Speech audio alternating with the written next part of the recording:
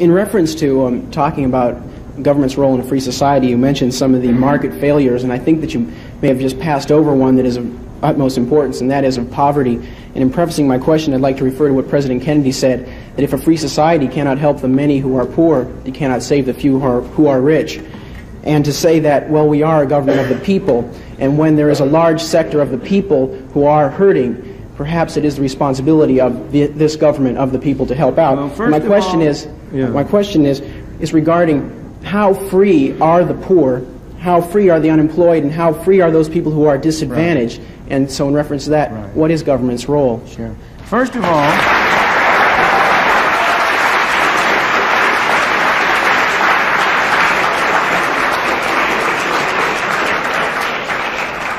I'm glad to see one vote for the poor.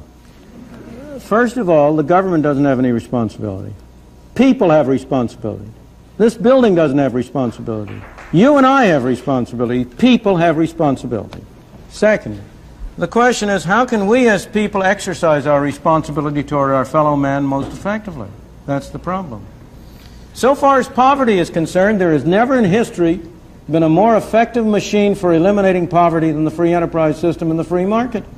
The period in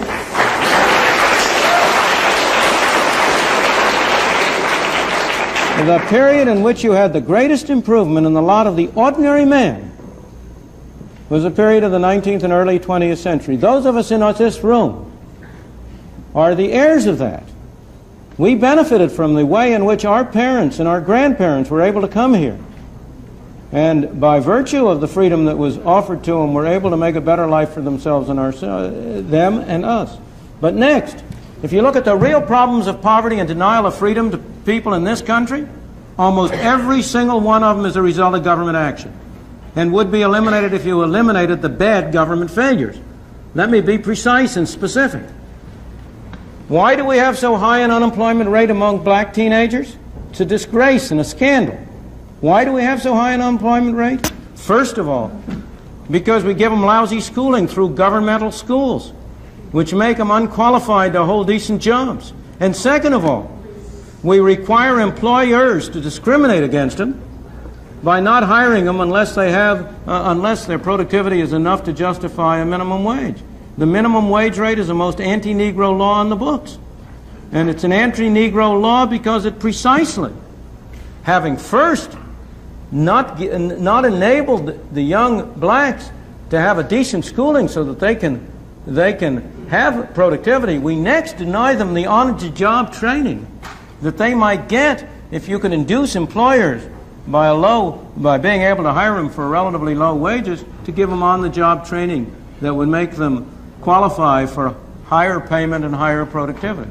In the third place, we have constructed a governmental welfare scheme which has been a machine for producing poor people. We have induced people to come under control of welfare. we I'm not blaming the people, don't misunderstand me. It's our fault for constructing so perverse and so ill shaped a monster as the whole set of welfare programs we have under which we encourage people, uh, families to break up, we encourage people to move from one part of the country and come to another, under which we have, in effect, made many people poor. And yet, when all this is said and done, have I ever been where?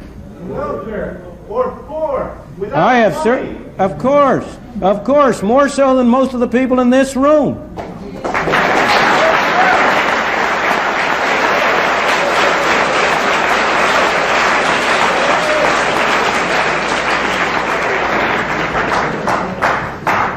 How many of you have worked a 12 hour day and gotten paid 78 cents? But let me go back to the because but you know that's all irrelevant. Is there one of you who is going to say that you don't want a doctor to treat you for cancer unless he himself has had cancer?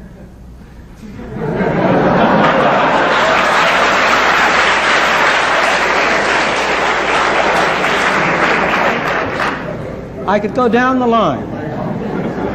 But when all is said and done, while there are people in this country who are worse off than other people, by and large, the well, uh, the, even the poorest people in this country are relatively well off compared to the conditions in many other countries in the world.